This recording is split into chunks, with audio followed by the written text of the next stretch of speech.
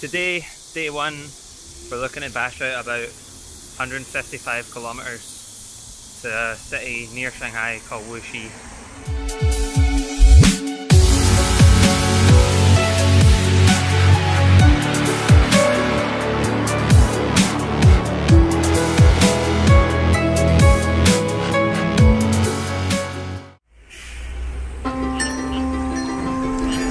This is me just leaving Shanghai city limits.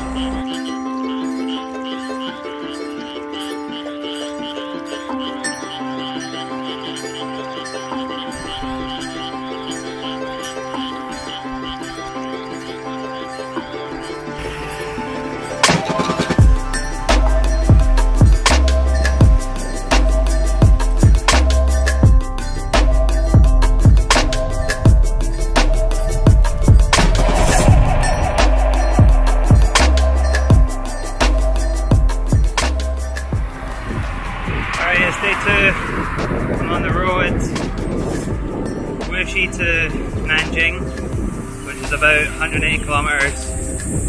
I've just passed through Changzhou, which took me way longer than expected. On the map, it looks like it's this tiny little town compared to Shanghai and Wuxi and Nanjing. But it's actually a city of about 6 million people. So it's like it's the same population of the, the entire of Scotland. So it took me about three hours to actually navigate my way through. But back on a busy dual carriageway now, and I just see my first line for Nanjing, so here we go.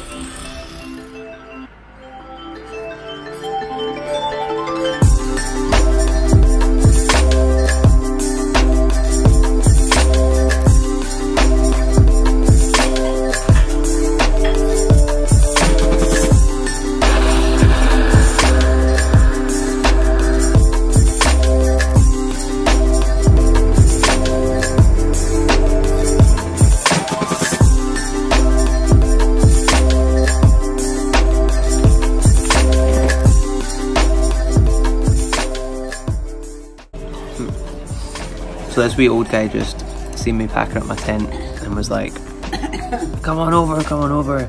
I give you some breakfast. I give you some breakfast." So he's give me some some of this, like rice rice thing, some of this, some more stuff. Give me a spoon because he's like, "Oh, you can't use chopsticks because you're a foreigner." Listen.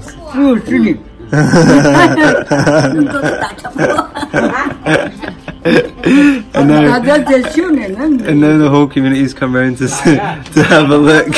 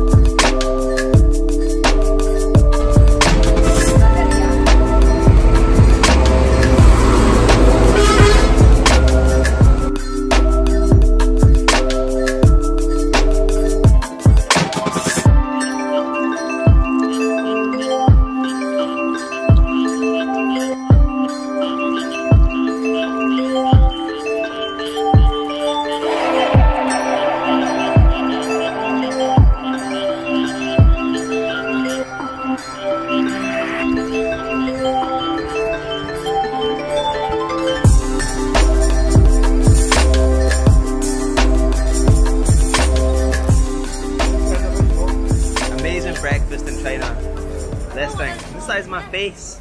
Xiaobing. So, Dime. Xiaobing. It's over here. Xiaobing. This guy. This guy made the Xiaobing. Wait, I'll turn around. Okay, hello? this guy.